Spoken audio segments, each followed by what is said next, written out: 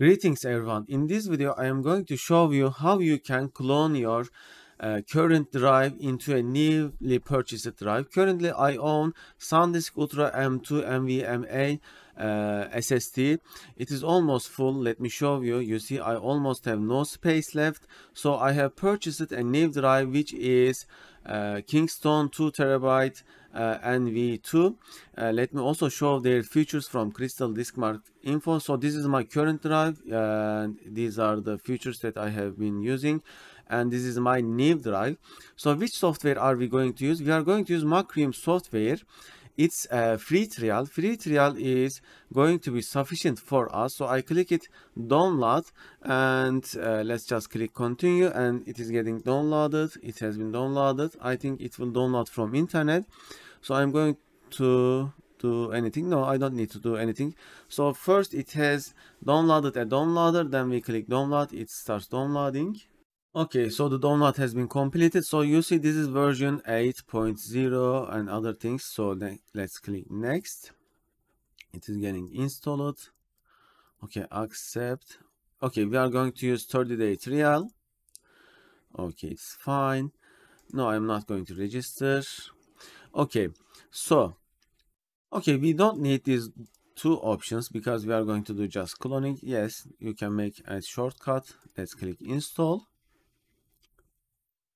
Okay, the installation has been completed, so I'm going to launch now. Okay, and yes, so this is our screen. Okay, this is important that how you are going to clone.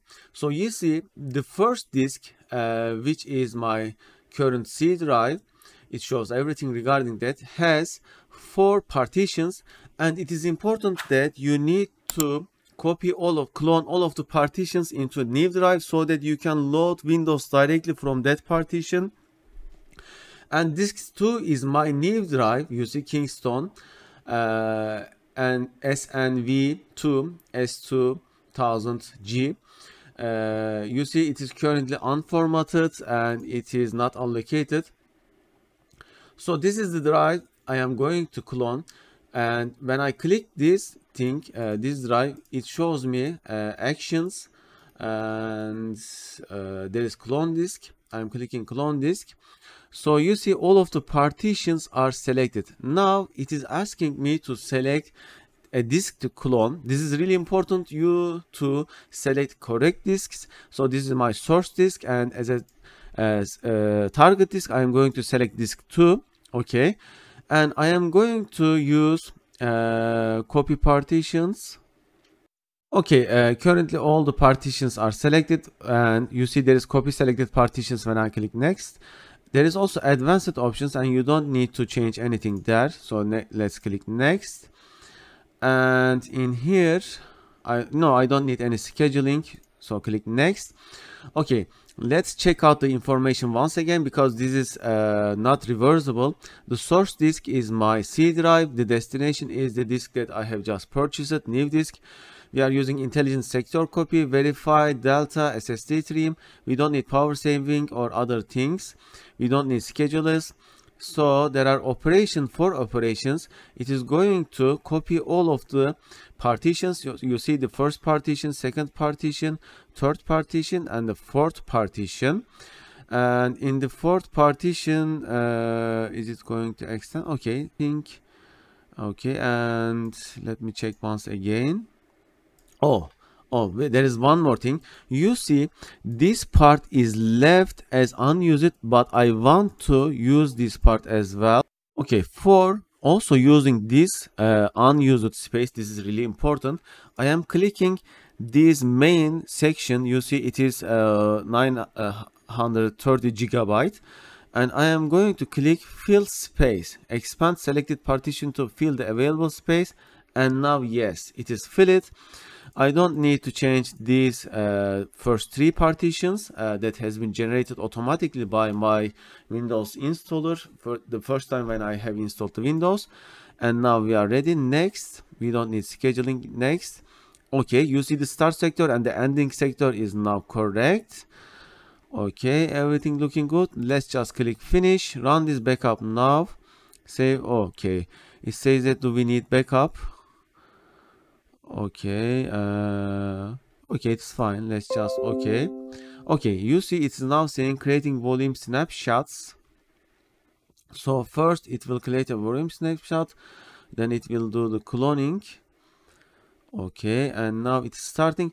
Meanwhile cloning is uh, being made. You shouldn't do anything. So now i'm going to pause the video okay uh, so the cloning has been completed. You see it only uh, it only took one hour and 11 minutes because both of the hard drives are super fast. I am also going to release a video of uh, comparing both hard drive uh, speeds with multiple uh, hard drive speed tests applications. So you should also watch them if you're interested in and i will put the link of it in the description. So how we are going to reboot our computer with the new disk instead of our current c drive. There are two ways. First way you can remove your current c drive and replace it with the uh, new drive. Okay. Alternatively you can set uh, your uh, uh, boot drive from the BIOS of your motherboard. Uh, so I will restart the computer and show uh, how can you how you can do it, but it may change according to your uh, motherboard brand. But before that, I want to also uh, explain another thing. When you are doing cloning, you should close as many as possible applications. So uh, while the clone is happening there shouldn't be new writings or modification to your C drive. Uh, because of that purpose I have closed all of my uh, MS SQL server uh, let me show you. Uh, one moment. I have closed MS SQL Server agent and other several SQL Server related things so that because SQL Server server almost um, any moment modify some database parameters operation and do some operations. So if you have such applications installed on your computer you should close them or stop their services to ensure as much as possibly have the exact data. Uh, cloning in the uh, DOS screen uh, in the DOS environment would be better option but it requires uh, paid applications okay now i'm going to restart and show how am i going to uh, set the booting drive. Okay this is the bios screen of my motherboard. So i'm going to click settings and in here i have boot. And in here uh, you see UEFI hard, hard disk drive boots. And the boot option one I am going to set as my new drive. And that's it. Let's just click yes and it is supposed to boot and work right now. Let's see. Okay uh, so you see I have now booted into my NIV drive. My NIV drive is now the uh, C drive as you can see here. It is 2 terabyte and when I right click and see properties it is like this. And let's also look at the properties of our previous drive which is the now F drive. Right click properties and uh, these are the number of used space capacity and other things. However if you want to be 100% sure that everything is copied perfectly you are uh, keeping all of the files then you need to use another application. Uh, since I am a .NET developer I have programmed a simple application like this uh, which compares both uh, of the given folders drives whatever uh, with all Uh, capabilities it has. Uh, this is a complete uh, this is a software completely coded by me. Uh, it compares the uh, SHA 256 hashes. So this is a really dependable way to compare whether they have been copied correct correctly or not. You see it is a decent size application uh, actually. So let's uh, also run this application to see if we have if we are missing any files or not. Um, I will I will run it as administrator actually so it will have more uh, rights to check out all of the files. Okay the application interface is very uh, simple.